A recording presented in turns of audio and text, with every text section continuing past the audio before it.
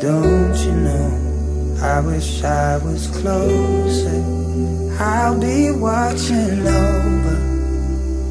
And if you're too small to see, I lift you on my shoulders. If you're feeling low, I'll hold. I remember Joe said, "Oh, Danny's bringing a friend home to meet you," and I sort of gave her that look. What, what friend? You know. So anyway, uh, in my mind, I thought to myself, "Hmm, "You're going to get the Hesley look."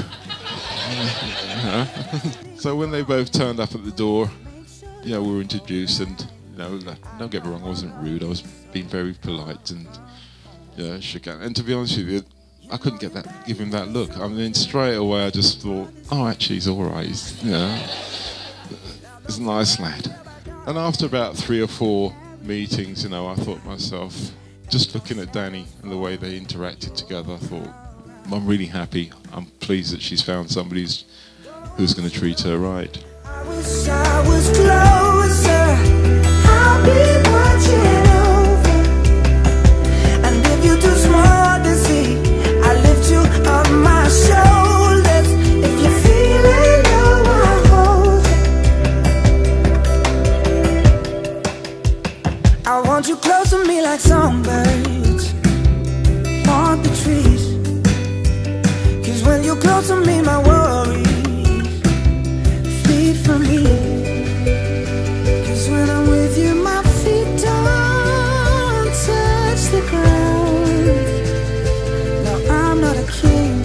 So I thought, no, I won't give advice.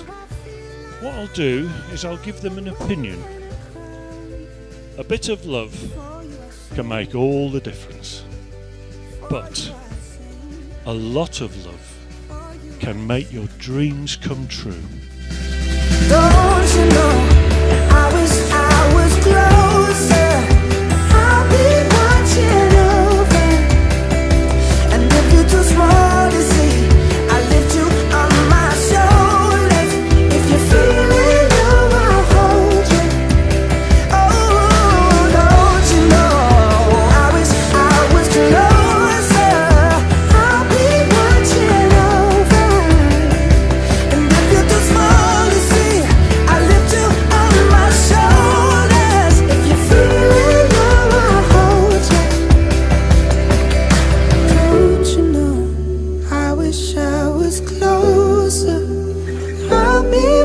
watching.